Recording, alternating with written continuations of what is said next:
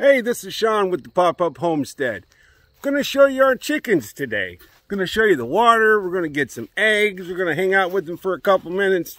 Look at all them beautiful girls hanging out. We got, of course, we got our two boys. We got Phoenix right there. And then that's Red Rover. Look at all the girls. They look so good. No molting. They're all laying fantastic. Everything's working.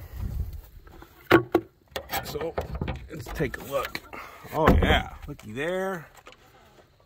It's like a gold mine. Look at that. Love it. And then once in a while you see, see in the inside. Once in a while they lay them inside. But yeah, this is a good harvest here.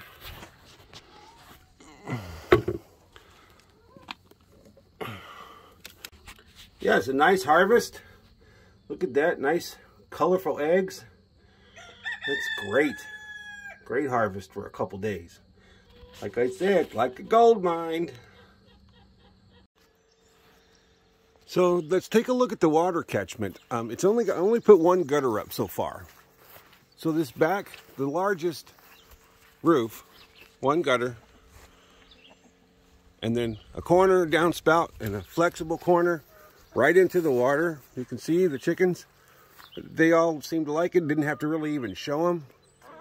And uh, they just picked up on it right away. One of the cups fell out once, but then I sealed it in a little better and it's been fantastic. There he is. He's got a lot to say, usually. And then he's got a partner in crime over there. They both do. Let's see. But see, this side over here is going to have a gutter also. And that'll help stop the drip when we go to get eggs when it's raining.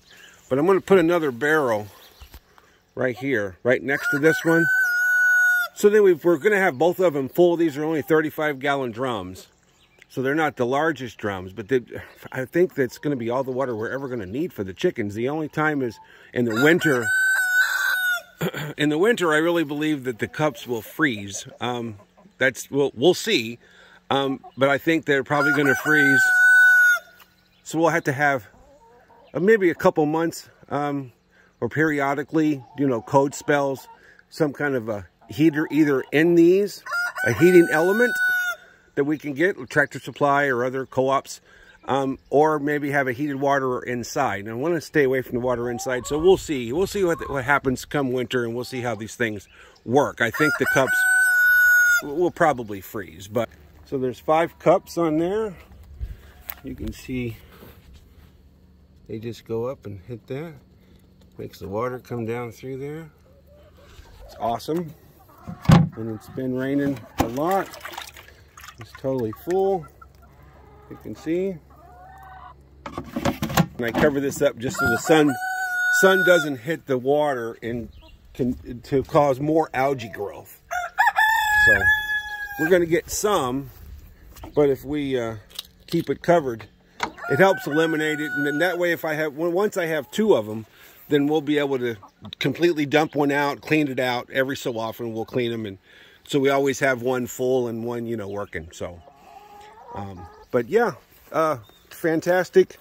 Super exciting to tell you about the this chicken water. I mean, we've done chickens for, well, over 10 years.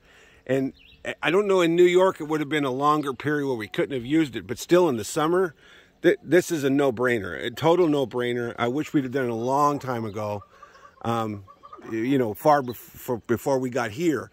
But now we got it, so it's um it's awesome. It's um completely hands-free, uh, uh, other than you know cleaning it out every so often.